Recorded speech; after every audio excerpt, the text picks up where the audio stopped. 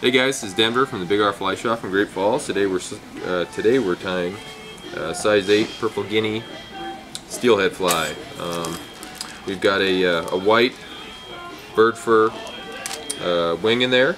Uh, this is a pretty productive summer and fall fly for steelhead over on the, the Clearwater or the Ronde or the Snake.